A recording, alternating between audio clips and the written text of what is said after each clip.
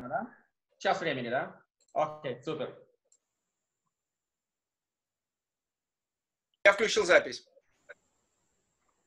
Окей, добрый день или добрый вечер всем тем, кто с нами сегодня. У нас в Нью-Йорке сейчас день, в, соответственно, в, в Израиле, в России, в других часовых поясах вечер. Рад вас видеть, э, видеть и слышать. И сегодня, меня зовут Рубен Хаскин, сегодня мы с вами поговорим о празднике Песах. Логично, мы с вами уже в первом еврейском месяце Нисан, месяц свободы, с Манхирутену. И тема нашей лекции сегодня Песах – время свободы. Я хочу немножко с вами поговорить о центральных идеях Песаха, о том, как эти идеи реализуются через основные пасхальные символы. И мы с вами затронем немножко поверхностно, но так достаточно, наверное, для одной сессии тему того, как кашируют то, что нужно откашировать на Песах, как провести уборку и как при всем этом, по всей этой предпасхальной суете не забыть о главном. Не выплеснуть вместе с водой ребенка и сохранить правильный пасхальный настрой. Вот это примерно то, о чем мы с вами сегодня поговорим. Итак, давайте начнем с того, какова центральная идея праздника. Ну, праздник в еврейской традиции называется временем свободы, Зман Херутену. Так об этом написано в наших молитвах. Э, в самом тексте Торы э, время выхода из Египта, мы знаем, что это одна из центральных вообще идей Торы, что очень многие заповеди связаны с э, выходом из Египта. Выход из Египта может быть одна из вообще центральных идей Торы. И в чем значение выхода из Египта? Давайте попытаемся немножко на это посмотреть с разных точек зрения под разным э, углом зрения, немножко разных ракурсов. Самое простое – это историческое значение. Еврейская история начинается с выхода из Египта. Если вообще мы посмотрим на еврейский календарь, еврейский календарь у нас начинается. Первая заповедь Торы – это вести отчет месяцев от весеннего месяца. Тора не называет его Нисан, мы знаем, что название месяцев Нисан, Ияр и так далее пришло к нам уже из вавилонского знания. Торе этот месяц называется Ходыш Гаавив, то есть весенний месяц. Почему нужно начинать? Вообще отчет заповедей, отчет мецвод мы начинаем с того, что мы ведем календарь с выхода из Египта. Кибе ходишь Гаавив Ибо в этом месяце ты вышел из Египта. То есть выход из Египта – это точка отсчета. Выход из Египта – это точка отсчета еврейского, так сказать, измерения времени, начало еврейской истории – и историческое значение выхода из Египта, оно э, в этом плане очень велико. Мы увидим, что это связано с разными другими аспектами. С формированием идентичности, с философским пониманием, с психологическим пониманием. Но в самом простом и банальном историческом смысле выход из Египта – это то, от чего мы ведем отсчет еврейской истории. И поэтому самые классические тексты еврейской истории, которые опираются на еврейскую традицию, они часто учитывают, конечно, про отцов, они рассказывают об историях, которые предшествовали выходу из Египта. Но если мы говорим о еврейском народе, еврейский народ сформировался в процессе выхода из Египта. И это точка отсчета, это точка начала. Психологический смысл. Психологический смысл на самом деле намного интереснее. Здесь немножко э, более тонкие вещи у нас будут. А, вообще говоря, если мы с вами посмотрим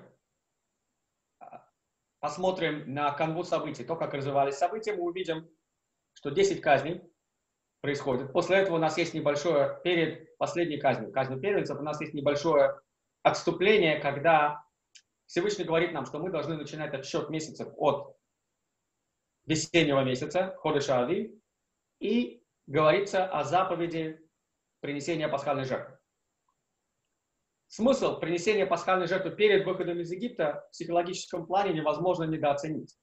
Здесь речь идет о том, что на самом-то деле мы знаем, египтяне поклонялись тельцам, поклонялись агнцам, поклонялись многим разным животным, и баран, агнец тоже был одним из животных, которым египтяне поклонялись. То есть получается, что символически каждая еврейская семья должна была принести в жертву египетского божества. И э, в психологическом плане полностью полностью выйти за рамки вот этого вот рабского мышления, в котором э, абсолютно э, египтяне тобой полностью управляют, у тебя нету собственного голоса. э, психологический такой катарсис, когда ты осуществляешь действие, которое, ну, убийство египетских богов, понятное дело, карается смертью. Для простого египтянина, что уж говорить о, о еврейском о рабе, конечно же, для раба это вещь, которая совершенно немыслима. И вот это действие, оно приводит к трансформации. Это начало трансформации. И вот эта трансформация, которая здесь, в принципе, от раба мало что можно попросить. Мы увидим, что это поколение в итоге не сможет войти в землю по причине того, что, как хорошо об этом скажет Ашер Гинзбург, более широко известный под псевдонимом, псевдонимом Ахада Ам, один из лидеров сионизма, он получил довольно хорошее еврейское образование, ему приписывают следующие слова, что труднее вывести Египет из еврея, чем еврея из Египта. То есть евреи из Египта вывели, евреев вывели из Египта, но вот Египет в евреях остался, и поэтому это поколение на 40 лет увязнет в пустыне, и в итоге это поколение в пустыне же и умрет. То есть действительно они полностью от своего рабского менталитета избавиться не смогли. Но очень важный шаг к избавлению от рабского менталитета Всевышний дает им как мецву перед тем, как они физически выходят из Египта. То есть перед тем, как вы выходите из Египта физически, вы должны сделать что-то очень важное психологически, провести некую трансформацию, перестать а, осознавать себя в рамках а, того, что вы рабы в Египте.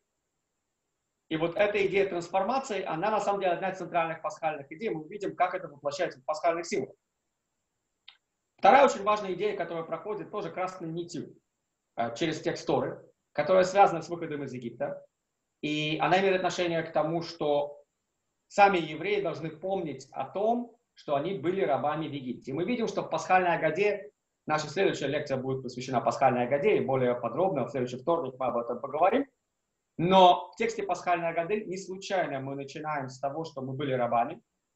И у нас есть две точки начала пасхальной Агады. Там говорится о физическом рабстве, там говорится о том, что мы были идолопоклонниками. У нас есть две точки начала пасхальной Агады, но это тема следующей лекции.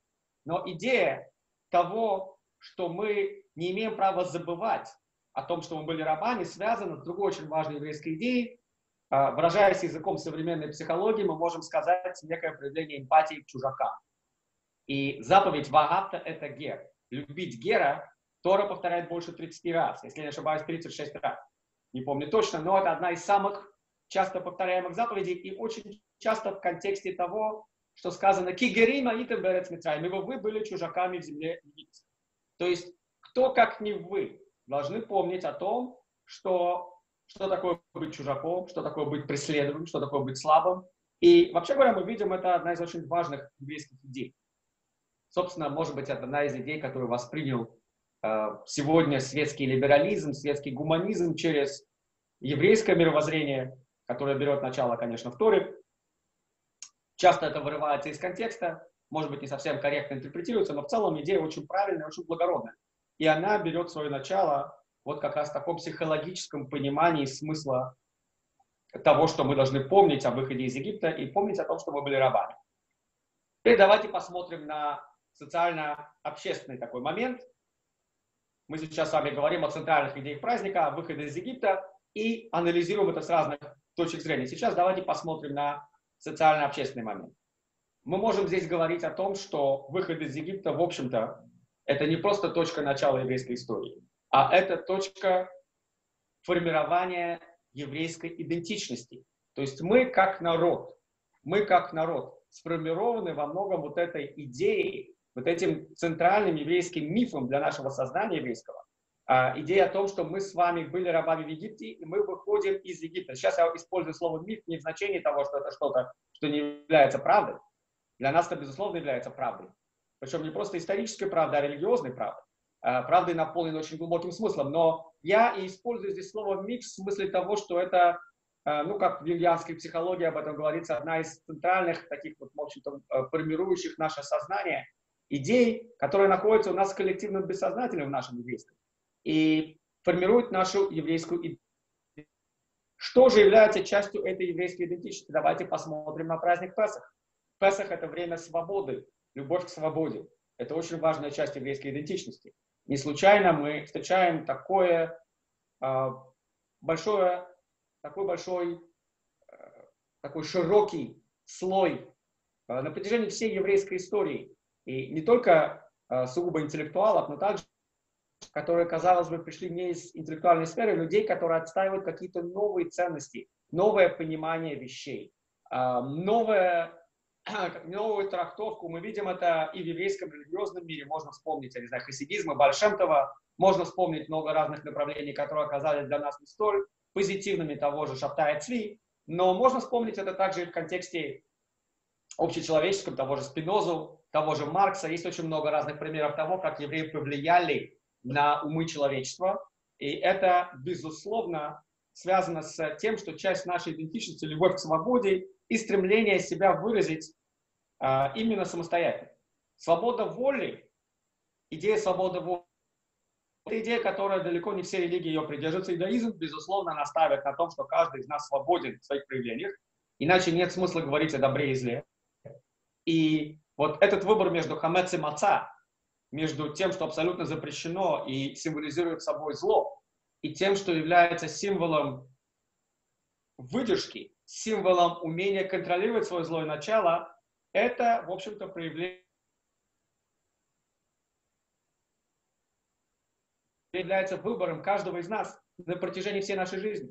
Мы этот выбор осуществляем постоянно. И вот это проявление свободы человека в его поступках в мире.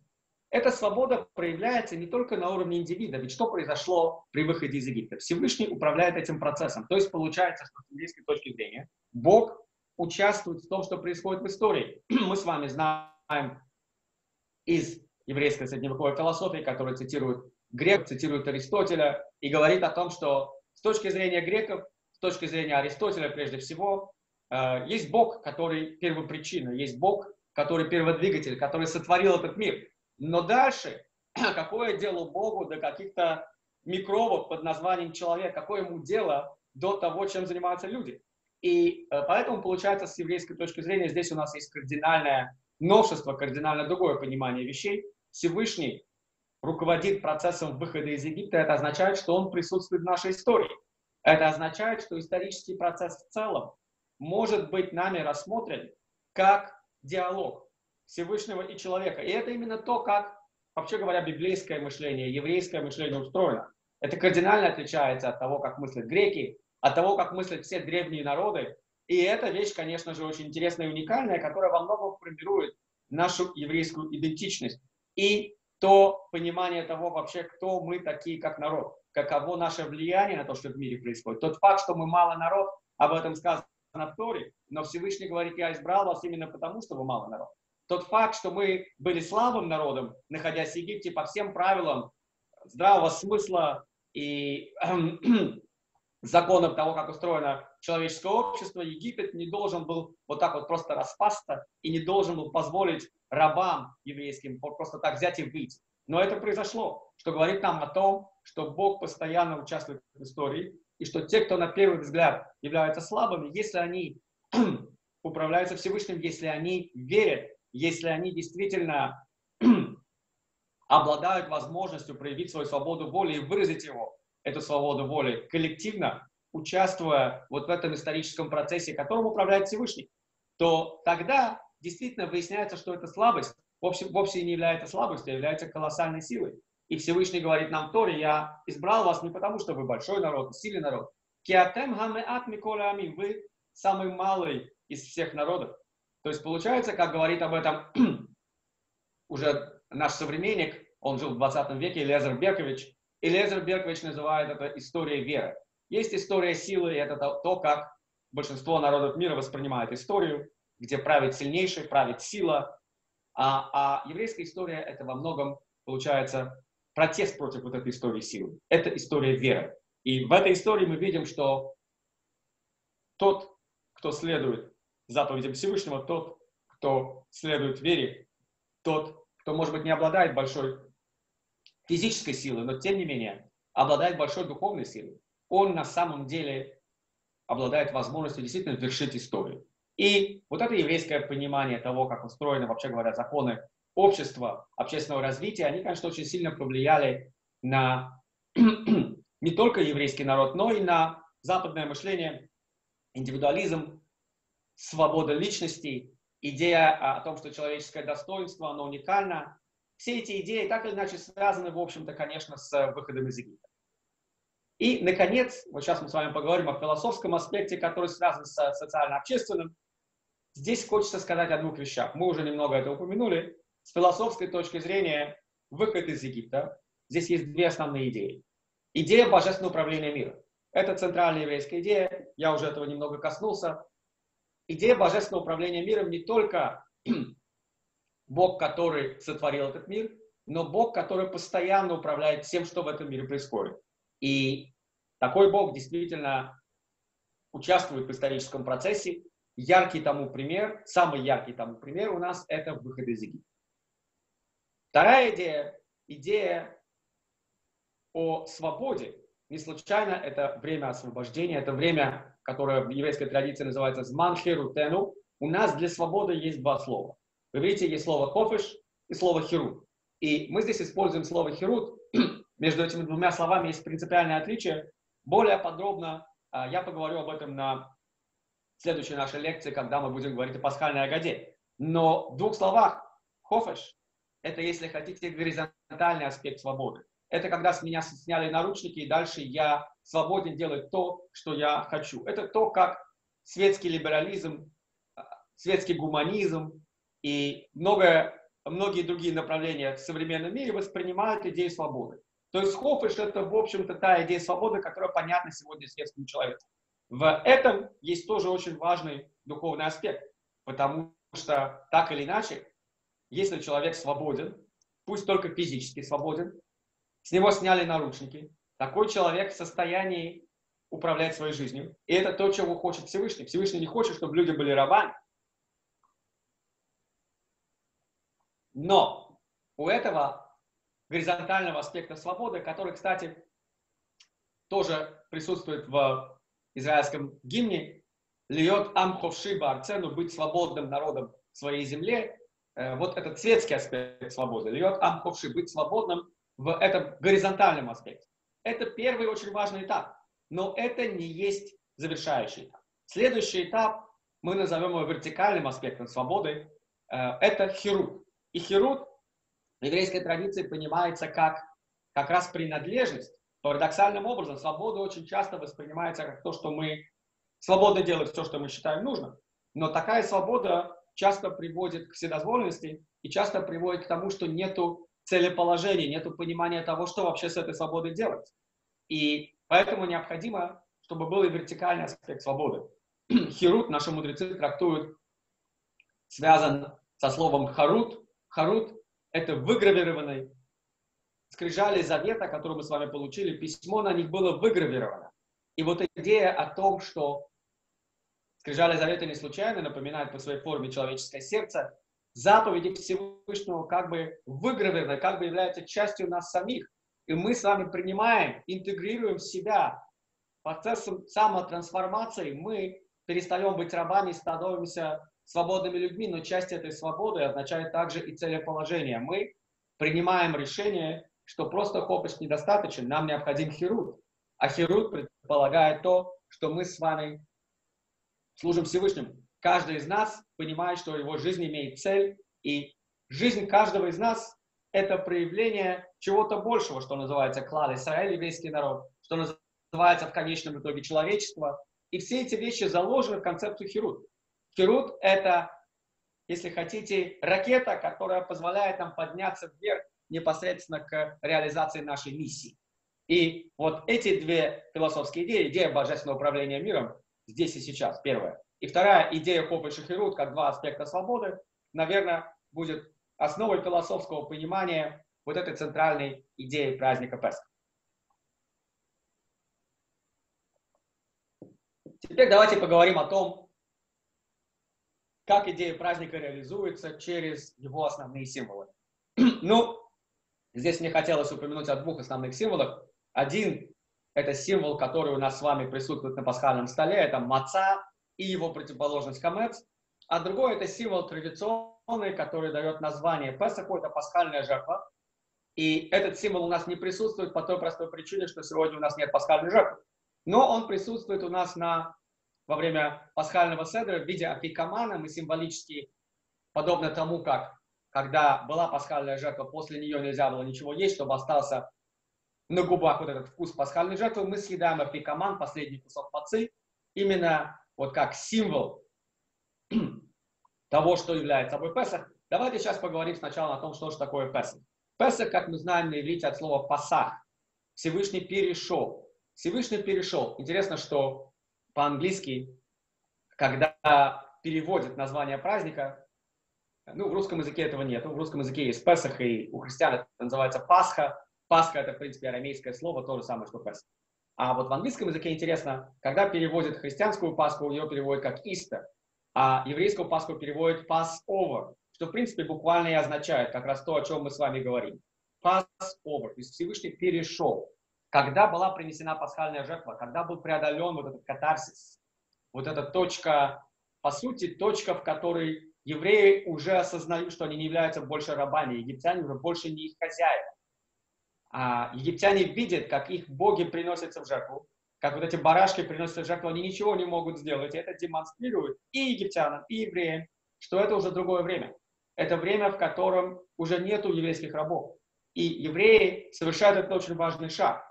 А, в этот же момент что происходит? Когда совершается пасхальная жертва, мы знаем, что этой кровью евреи окропляют косяки своих дверей, и Машхит, ангел, разрушитель, проходит мимо. Проходит мимо. То, что ангел-разрушитель проходит мимо тех, кто осуществил вот этот очень важный аспект трансформации, тот, кто осознал, что он связан с Творцом, еврейский народ. А все остальные мы знаем, что египтяне, которые не принимали в этом участие, египетские дома пострадали, и в каждом из них погиб первенец. Каждый первенцев связано с пасхальной жертвой, как мы видим. И в пасхальной жертве здесь есть идея трансформации, идея о том, что в отличие от понимания мира идолопоклонникам, понимание мира идолопоклонникам есть, в общем-то, на самом деле исключительно взаимоотношения человека и Бога, построенные на том, что человек должен задобрить Бога какими-то жертвами, и вот эта жертва, которую, которую мы приносим Богу, она дает нам возможность как-то выжить в этом мире. На первый взгляд, на первый взгляд, если мы с вами посмотрим на то, что здесь происходит, это очень похоже на идолопоклоннический сценарий. Э, еврейский Бог требует от нас принести ему жертву. И все те, кто жертву бы не принес, погибают, первенцы. А в еврейских домах первенцы всегда, как мы знаем, не случайно, первенцы в очень многих религиях приносились жертву богам. Потому что первенец – это самое ценное, что у тебя есть. Это твой первородный сын, это твой начаток силы. Э, и на первый взгляд мы видим, что еврейский Бог делает то же самое. Он требует от нас вот этой жертвы. Но смысл этой жертвы совершенно другой. Смысл этой жертвы пройти точку внутреннего осознания того, что ты не являешься рабом и не зависишь от египетского мира. И дальше Всевышний указывает тебе путь. Теперь, когда ты освободился от вот этого влияния египетского мира, от влияния египетских богов и от того, что ты в своем собственном понимании, в своем ментальном видении являешься рабом, то есть ты не управляешь своей жизнью вообще никак. У тебя нету завтра, у тебя есть только одно и то же постоянное вот это вот пребывание в состоянии рабства, когда ты вообще не управляешь своей жизнью. Сейчас неожиданно раскрывается аспект времени. Неожиданно выясняется, что у тебя есть завтра. Неожиданно выясняется, что ты сам хозяин своей жизни. И это совершенно другое миропонимание, которое Всевышний открывает здесь еврейскому народу в этой точке трансформации. То есть Песах – это, по сути, идея трансформации. Это идея, одна из центральных пасхальных идей о том, что мы управляем собственной жизнью, и мы выбираем. И дальше эта идея раскрывается, идея выбора уже раскрывается через основной, может быть, символ праздника, который у нас с вами есть сегодня, основная заповедь Песаха и основной запрет Песаха. Основная заповедь Песаха – это есть мацу, как мы с вами знаем. Основной запрет Песаха – это запрет поедать квасное, то есть хамец. На иврите маца и хамец пишутся очень похоже. Мем и цади в обоих словах присутствуют. В слове маца у нас есть буква гей. В слове хамец у нас есть буква хет. Буквы гей и хет в своем написании на иврите очень похожи, с той лишь разницей, что гей – это буква открытая, а хет – буква полностью закрытая. Гей пишется таким образом, что есть некий задел, некий прост... некое небольшое пространство И вот это пространство, как мудрецы нам говорят, является очень принципиальным. По сути, мы можем говорить здесь о том, что это разница между человеком, который находится в состоянии греха, который не осуществляет свою связь со Всевышним, который закрыт. И смысл буквы «хет», кстати говоря, случайно, что на иврите «хет», название самой буквы, «хет» также означает и грех. А буква «гей» – это одна из букв имени Всевышнего, четырехбуквенного имени Юд, Гей, Вав, Гей. И эта буква символизирует этот мир, Олам Азе, мир, в котором мы с вами находимся, мир, в котором действительно мы со всех сторон как бы ограждены материальным, физическим, но у нас есть возможность контакта, вот этот задел, этот простор, этот зазор, который присутствует в букве Гей, оставляет пространство для того, чтобы у нас был диалог с Творцом, оставляет нам возможность видеть свою жизнь не как случайный набор фактов, не как какие-то рандомальные вещи, которые просто с нами происходят, за которые мы еще и не несем ответственность, а как возможность по-настоящему увидеть себя в общем-то, творцами собственной жизни вместе с Творцом в этом постоянном диалоге, в котором мы видим собственную жизнь как определенный этап раскрытия божественного откровения, в том числе нам, в нашей с вами жизни, в жизни каждого из нас, через тот диалог, который в нашей жизни с Богом постоянно происходит. И маца является этим символом, символом этого диалога, этого раскрытия. Маца и хамец не случайно так похожи не только в написании, в общем-то, по ингредиентам здесь все то же самое. Мы говорим с вами о, в общем-то, мучном изделии, правда? Что-то, что очень близко к тому, о чем мы обычно, чем мы обычно пользуемся в повседневной жизни, это хлеб. хлеб, конечно же, это классический пример того, что такое хамекс. В чем же разница между хлебом и мацой? Разница будет только во времени. И вот этот аспект времени – это один из центральных вообще аспектов еврейского понимания мира. Не случайно в самом начале книги Берешит, в самом начале Торы, еще до того, как мы говорим о святости пространства, о том, что необходимо построить Всевышний храм, об этом будет только в книге Шимот, в самом начале Торы мы говорим о святости времени. Мы говорим о том, что Всевышний сотворил мир за шесть дней и отдыхал в шаббат, и поэтому нам предписывается такой же распорядок. Идея о том, что время, в общем-то, обладает святостью, это уникальная еврейская ноу-хау, очень интересная идея. И еврейские праздники Каждый из них по-разному раскрывает вот эту точку святости времени. Песах – это раскрытие аспекта свободы. И в чем проявляется свобода? Давайте посмотрим на это немножко глубже, через Мацу и Хамец. Свобода проявляется в том, что мы в состоянии управлять своими собственными проявлениями. Мы можем себя контролировать. Мы можем контролировать свои желания. Мы можем направить свои желания в нужную сторону мы можем контролировать и управлять своими слабостями.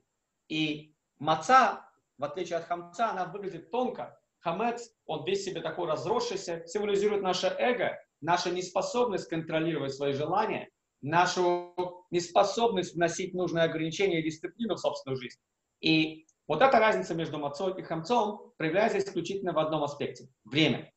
Есть вещи, которые требуют нашего участия и время, когда мы эти вещи делаем, должно быть исключительно точно выверено. Не случайно в еврейском понимании мира есть также понятие этрацион, время желания, время, когда наши молитвы особо будут услышаны.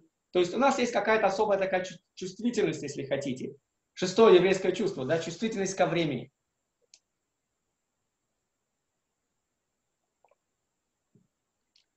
Идея о том, что время ценно, идея о том, что каждый момент значим в нашей жизни.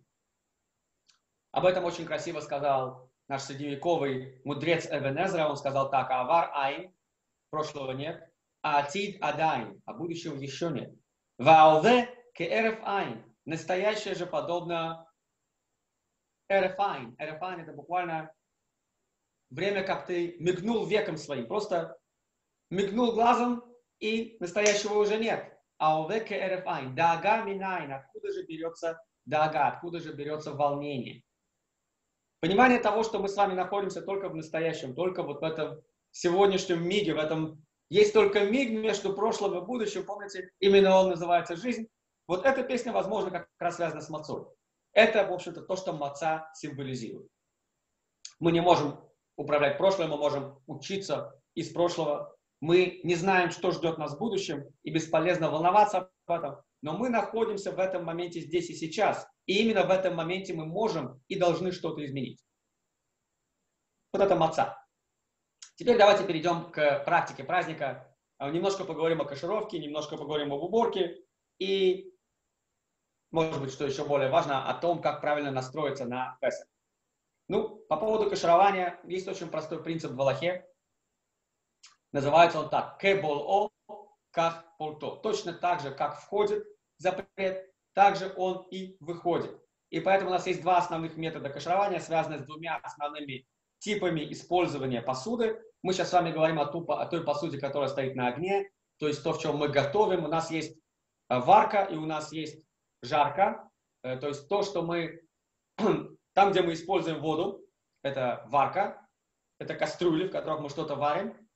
Способ кашировки будет аналогичный, то есть мы делаем агала. Агала – это, в общем-то, метод кашировки водой, когда мы берем кастрюлю, которую мы хотим откашировать, предварительно, перед кашировкой нам всегда необходимо убедиться в том, что, ну, чтобы не усложнять, скажем так, что 24 часа посуда не использовалась.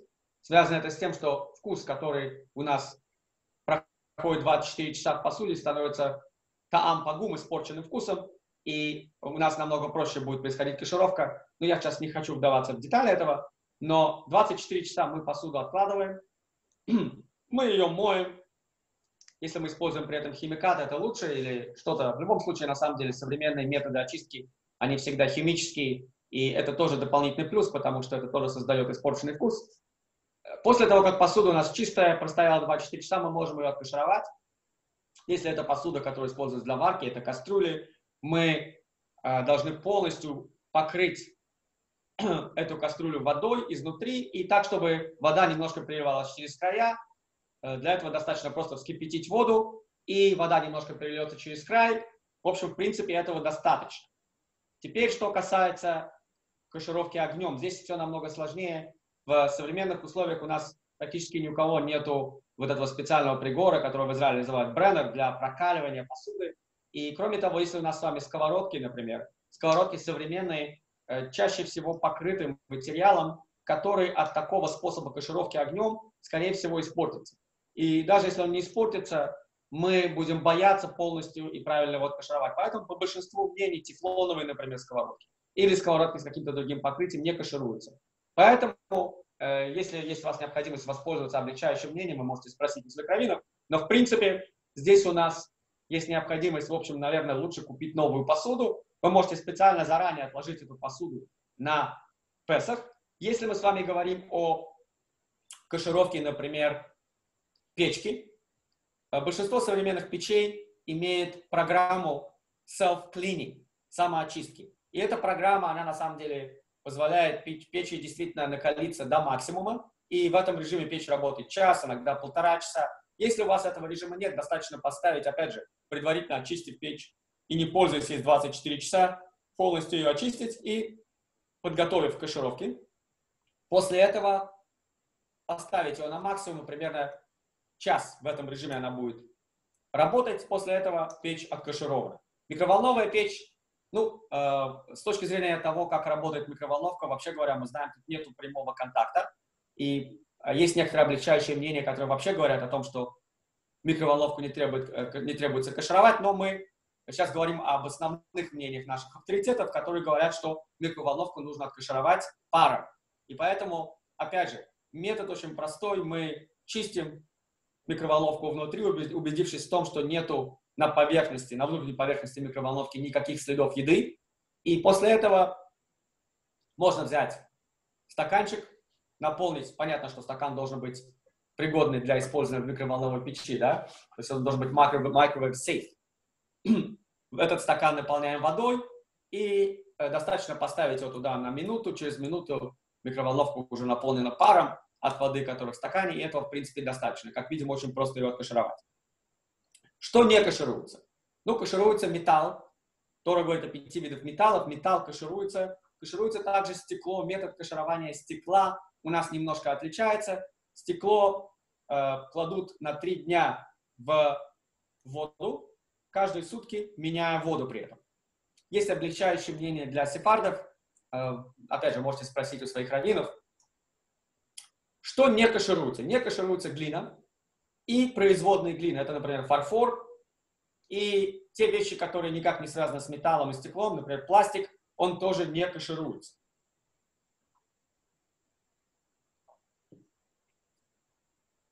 Ну, это в двух словах о том, как мы с вами кашируем. И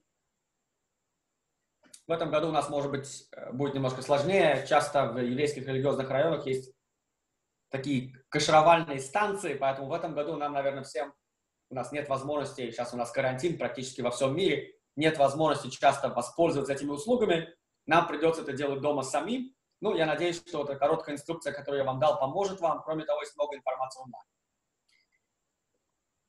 Теперь, что касается уборки.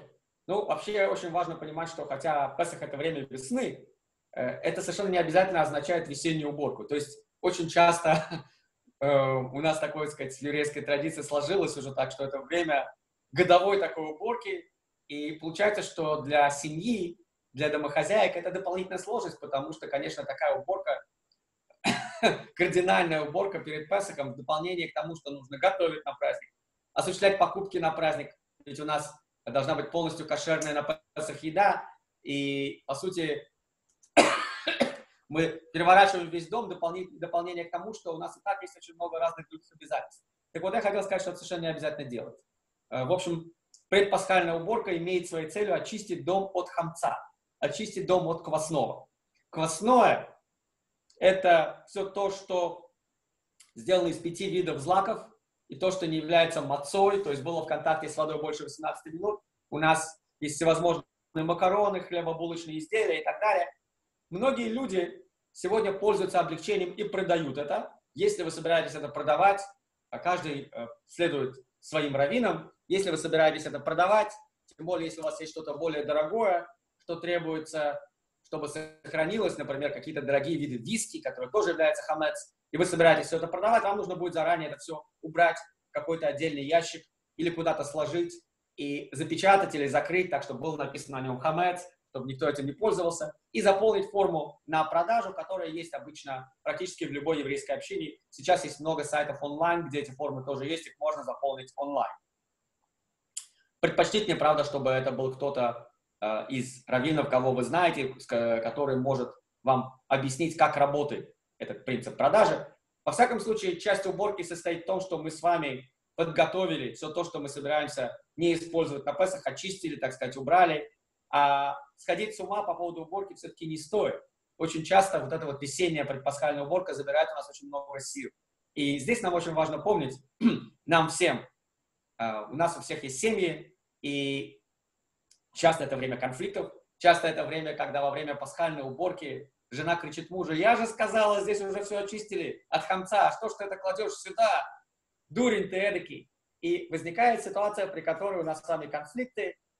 Э, о том, как избежать этих конфликтов и насколько это важно, мы поговорим чуть позже, когда коснемся правильного настроя. А сейчас я хотел все-таки дать несколько, может быть, таких практических советов о том, как правильно подойти к уборке предпасхальной и при этом не сойти с ума. Ну, во-первых, наверное, самое главное это помнить о том, что уборка не должна нас поработить. В конечном итоге мы вроде как выходим из рабства к свободе. Как очень часто люди шутят, перед Пасхом вроде как из рабства египетского мы выходим, но при этом становимся рабами уборки. Так вот это ни в коем случае не должно происходить. Ну, во-первых, наверное, для того, чтобы как-то оптимизировать то время, которое мы собираемся на это потратить, нам необходимо составить примерный, э, примерный график. Для того, чтобы составить график, того, что и в какой последовательности мы делаем, мы должны изначально понять, вообще говоря, что нам нужно сделать. Это всегда первый вопрос. Что мы должны сделать? И здесь у нас есть обязательная программа и произвольная. Все, что касается уборки пыли, уборки грязи и так далее, это не хамец. Это программа произвольная. Ее совершенно не обязательно делать. Ее можно будет оставить даже на уже время, когда с хамцом мы должны разобраться, может быть, даже когда мы уже все откашируем. Если у нас будет время на это, прекрасно. Но обязательная программа – это все, что касается уборки хамца, и здесь мы должны распределить время. Поэтому сначала мы строим план. Что нам нужно сделать? Первое, второе, третье, четвертое, пятое. Следующий пункт. Мы после того, как построили этот план, делаем определенный график. И, наверное, чтобы все в этом процессе участвовали, и, и муж, и дети, можно этот график составить таким образом, чтобы каждый принимал посильное участие в том, что происходит, и каждый знал, что у него есть какая-то определенная обязанность, которая в общем-то, на самом деле поможет э, хозяйке справиться с этим проще. И, наверное, сделает так, что у нас будет немножко меньше стресса для нее. А это очень важно, освободить наших э, женщин от предпасхального стресса, ведь на них возложено очень многое. Кухня у нас остается, конечно же, наконец, потому что ну, кухней мы пользуемся практически э, до того момента, когда хамец из кухни выходит. И кухня это самое сложное, на кухне нужно уделить достаточно времени, чтобы успеть все очистить там и откашировать, и убрать весь тот хамец, который мы собираемся продать, если мы пользуемся продажей хамца. Потому что есть те, кто не пользуется этим облегчением, связанным с продажей хамца, и, ну, это не тема нашей сегодняшней лекции, спросите вашего равина, какому мнению вы придерживаетесь. Я думаю, что в этом году, на самом деле, учитывая ту ситуацию достаточно сложную, которая сейчас есть, кто знает, что будет с продуктами, я очень надеюсь, что не будет перебоев с продуктами там, где вы живете, и все будет замечательно. Но, может быть, даже если вы обычно не пользуетесь продажей хамца, имеет смысл в этом году какие-то жизненно важные, важные продукты не выбрасывать и не отдавать перед Песхом, как некоторые люди это делают, которые не хотят полагаться на продажу. Потому что изначально продажа хамца, в общем-то, была разрешена исходя из нужд больших бизнесов. А если у нас с вами не бизнес, а у нас с вами, в общем-то, какие-то минимальные там расходы на макароны и так далее, и крупы, то, казалось бы, этого можно всего было и не продавать, можно было все это использовать перед Песком или раздать кому-то. Но в этом году, может быть, имеет смысл иметь какой-то НЗ, неприкосновенный запас продуктов, и имеет смысл, возможно, воспользоваться облегчением на продажу. Ну и оставить время для кашировки, мы сказали, это у нас необходимо сделать до наступления Песаха, конечно, и до наступления, до вступления в силу запрета хамца. То есть кашировка должна быть закончена примерно до 4 до 5 часа дня перед Песахом. Ну, лучше все не оставлять на последний момент, и лучше сделать это хотя бы за день до. Ну и, наконец, последний пункт, о котором мне хотелось поговорить, это правильный настрой. Как сделать так, чтобы не сходить с ума из уборки, и как сделать так, чтобы не стать рабами хамца. Я уже говорил о том, что правильно составленный план и график помогут нам избежать суеты и суматохи. И вообще, в принципе, по жизни, наверное, это хорошая идея. Иметь некий план и график. Но вот в эти очень напряженные дни перед Песхом это в особенности нам полезно и важно. Еще один совет, который мне кажется полезный э, в жизни вообще, ну и конкретно в данной ситуации. Очень часто бывает, что мы себя перегружаем работой, и потом нам это становится уже не в моготу. У нас просто уже вылезает все это из ушей. Как вообще говоря сделать так, чтобы, не, чтобы превратить вещи, которые являются для нас обязательными, из чего-то, что нам ужасно неприятно, во что-то, что на самом деле мы можем воспринимать как, знаете, как буддисты говорят, это часть нашей, так сказать, дхармы, часть нашего жизненного пути. И по большому счету это еврейский подход. То есть те вещи, которые мы должны сделать, которые являются для нас митцвот, иногда бывают нам тяжелыми. Но э, эта тяжесть, это как, знаете, это может быть как спортсмен, который тренируется, и он доходит не до чувства очень сильной боли, но он доводит себя в своих упражнениях, в своих тренировках до состояния, где он напрягается, но это напряжение дает ему какое-то определенное удовольствие потом, дает ему ощущение того, что он действительно что-то важное делает. И в каком-то смысле, я думаю, когда мы с вами готовим квартиру перед Пасхом, мы помним, осознаем, что сейчас мы с вами занимаемся чем-то важным, мы занимаемся митцвой, это дает нам уже какое-то определенное понимание приоритетов. Если мы занимаемся чем-то важным и занимаемся митцвой, это не неподходящее время для того, чтобы ссориться, и это неподходящее время для того, чтобы ныть и стонать, с одной стороны. С другой стороны, как сделать так, чтобы нам эта работа не стала не в моготу? Чередовать уборку с паузами, наверное, хороший совет. Если вы чувствуете, что вы сильно устали, сделайте небольшой перерыв. Перерыв на, может быть, лекцию, которая даст вам силы, витамин, как я это говорю, витамин G. G от слова по-английски God, да, Бог начинается на букву G в английском языке. Э, дополнить себя жизненной духовной энергией, которая даст нам силы дальше продолжать то, чем мы занимаемся. Или сделать физические упражнения. Вдох-выдох, вдох-выдох. Небольшая зарядка дает нам энергию, и мы переключаемся с одного вида деятельности на другой. Или, может быть, даже просто 10-15 минут вздремнуть, отдохнуть, дать себе сил на то, чтобы продолжать дальше. Или, может быть, сделать медитацию, если мы волнуемся. Нам кажется, что объем работы сумасшедший. Иногда для того, чтобы в огромном этом ворохе увидеть какое-то определенное направление, которому можно идти, необходимо просто успокоиться, внутренне сосредоточиться, найти вот это место внутреннего покоя, которое поможет нам дальше совершенно спокойно продолжать. Мы, кстати, сейчас находимся в очень непростом периоде жизни, и мне хочется вообще посвятить эту лекцию Рефуа шлема, выздоровлению всех тех, кто сегодня болен, всех тех, кто сейчас пострадал от этого коронавируса, и пожелать всем крепкого здоровья. Мы должны с вами в особенности в этом году следить за своим здоровьем. Тора говорит нам, «Нишмартен молден шатыхаем», берегите очень ваши души. И хотя прямой текст говорит о том, что мы не должны забывать заповеди, мудрецы трактуют это так же, как и то, что мы должны не забывать заповедь о том, как следить за своими душами, за своим физическим. Там написано слово нефеш, навшатеем, имеется в виду за своим физическим телом. Следить за собой, следить за тем, чтобы мы в здравии пребывали. И поэтому эта уборка нас не должна никоим образом вывести из колеи. Мы должны правильно настроиться. И вот медитация, если вы занимались медитацией, наверное, это прекрасный способ того, как себя немного успокоить. Если вы этим никогда не занимались, может быть, сейчас самое время немножко начать медитировать, потратить на это 5 минут в день, наполнить себя определенным внутренним покоем. И, может быть, сегодняшнюю эту лекцию мы как раз закончим такой короткой медитацией. Главное, помните о приоритетах.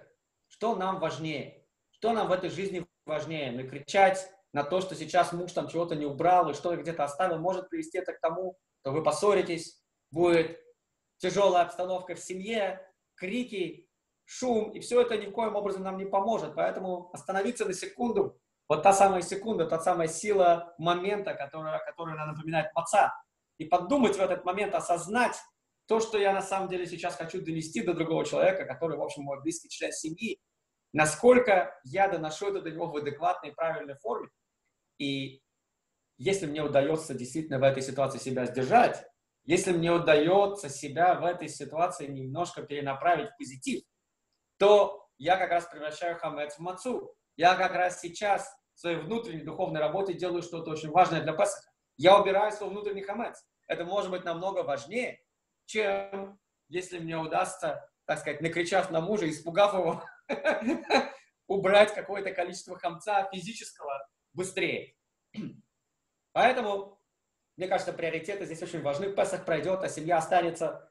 И те, кто с вами, э, и те, кто вам дороги, Э, сейчас очень важно нам всем вместе держаться в такое непростое время.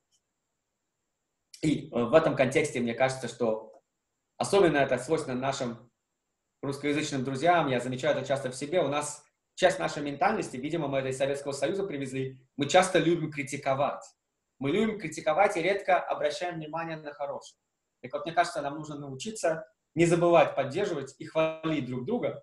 Особенно важно это сейчас, вот в это трудное время, в котором мы с вами сегодня пребываем. Мне хочется всем нам пожелать крепкого здоровья и физического, и духовного, и чтобы мы не забывали принимать витамины, витамин С, разные другие полезные витамины, и витамин G, как я сказал, в виде всевозможных лекций, уроков Торы, подготовиться в том числе и духовно к наступлению праздника Песах, и чтобы это время не прошло для нас исключительно в мыслях о том, чего я еще не сделал, чего я не успел, таком, знаете, обсессивно-компульсивном таком вот состоянии. От этого нам надо избавляться. Друзья, это не приносит нам никакой радости. В любом случае, идея того, что мы с вами убираем хамец на Песах, не должна ни в коем случае привести нас в состояние какой-то обсессии.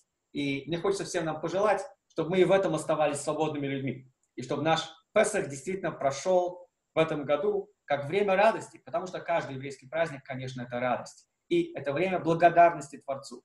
И вот мне хотелось закончить эту лекцию такой небольшой, короткой медитацией с вами. Буквально несколько минут. Эм, ну, условно, давайте назовем ее медитация благодарности. Давайте просто на секундочку расслабимся, закроем глаза и три минуты буквально помедитируем. Просто следим за нашим дыханием, дыхание спокойно, расслаблено. Вдох, выдох. Мы выдыхаем все наши проблемы сейчас, здесь и сейчас. У нас нет никаких проблем, нас ничего не беспокоит. Вдох, выдох. Приятная волна, волна расслабления идет от головы к плечам, плечи расслаблены, плечи, которые несут на себе тяжесть всех наших забот. Они расслабляются, приятная теплая волна проходит вниз, и наше тело расслаблено, расслабление проходит по рукам, доходит до кончиков пальцев, приятная теплая волна расслабления. Нас ничего не напрягает и не волнует. Вдох и выдох. Выдыхаем все наши проблемы и заботы. Вдыхаем тепло, любовь. И вот эта волна тепла, любви распространяется по всему нашему телу, доходит до ног, проходит сверху вниз и покрывает нас целиком. А сейчас давайте представим, что вот эта волна тепла и любви, это и есть та энергия, которую Бог нам посылает. Ведь Он любит нас посылает нам эту энергию постоянно. И представим это в виде света, представим это в виде света любимого вами цвета, теплого цвета, оранжевого, желтого, цвет, который вам нравится и близок. И вот сверху идет этот луч света, и он доходит до макушки нашей головы, и мягко, нежно нас касается, обнимает нас с любовью и теплом, и этот цвет распространяется по всему нашему телу. Он проходит из головы через плечи к рукам, к туловищу. Он спускается вниз к ногам. Мы наполняемся этим светом любви и тепла. Все в надежных руках, Всевышний с нами, Он любит нас. Он нас любящий Отец. Он заботится о нас каждую секунду.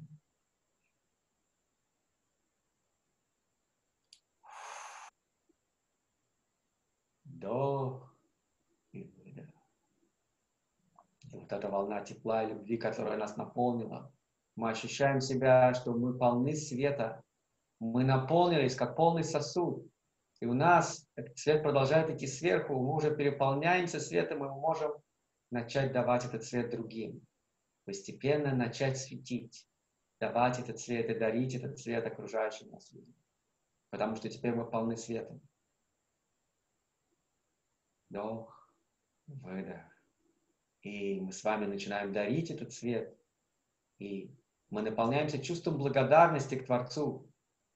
И мы вспоминаем о том, что евреи, евди – это тот, кто благодарен Всевышнему. Вдох, Выдох. И вот с этим чувством благодарности и любви мы с вами постепенно, постепенно выходим из состояния медитации, открываем глаза. И мне хочется пожелать всем нам замечательного, замечательного времени подготовки к празднику Песах. И когда вы чувствуете, что у вас стресс, и у вас нет сил продолжать, вы можете сами очень просто сделать эту короткую медитацию. Займет это у вас всего, как вы видите, 3-4, ну, может быть, 5 минут. Мне хочется всем вам виртуально, так сказать, virtual hug, виртуально вас всех обнять и пожелать вам замечательного праздника в это непростое время. Давайте дарить друг другу свет, любовь и радость. Э, всех с наступающим праздником, и если у вас есть вопросы, я буду рад на них ответить. Вы можете включить микрофон сами. Да, господа, да, мы сейчас время включить микрофон и задать вопросы, если они есть. Рен, а, может... Рен Яшарков, добрый вечер. Добрый. Вот, рад э, контакту, связи. Надеюсь, что это будет э, продолжаться, да? Спасибо. Вот долго. Да, у нас, по крайней мере, еще одна встреча будет. По крайней мере, одна. Я, я долго ждал лично, я, я так надеялся. Вот, Баруха Шем, Не, очень, очень хорошая лекция, все очень понятно, спасибо. Спасибо большое за такой отзыв теплый и большое вам, большая благодарность. И держитесь. Хазаку Барух, как говорится. Всяческих благословений вам и вашим. Спасибо. Спасибо. То, окей, тогда мы на этом мы заканчиваем. Я надеюсь, народ вышел из транса, они меня слушают. Может быть, они до сих пор... Ну, до сих Я пор. как человек, который напрягает всех, я вас, да, я вас напрягаю. Окей, ну хорошо. Да, послушай, я э, не могу, к сожалению, вписать в чат э, твой YouTube в следующий раз. Потому что я настолько перестраховался, что я в настройках, по-видимому, вырубал чат. У нас теперь его ни у кого нет, Окей. только у меня. Окей. Если Э, можно будет ну, Анатолий, хорошо. потом поставить информацию о моем YouTube-канале, те, кто захочет Да. подключиться, я буду рад. Подписывайтесь, и там постоянно выходит какая-то новая информация, какие-то новые лекции, есть короткие, есть длинные, по-русски, по-английски, буду рад.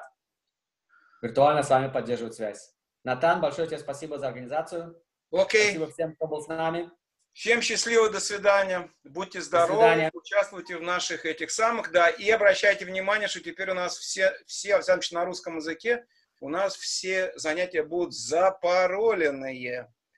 А Поэтому- следующая наша лекция будет в то же время, да? В тот же час. да, в то же время. Я так думаю, честно говоря, что пароль будет один для, как линк один, так и пароль один. Ну, посмотрим. В том случае, если у вас есть какие-то проблемы, пожалуйста, э, пишите мне либо в Фейсбуке, либо в WhatsApp, как угодно, в Телеграме, я вам сообщу э, пароль. Хорошо? Все, всем счастливо и до свидания. Пока. Спасибо.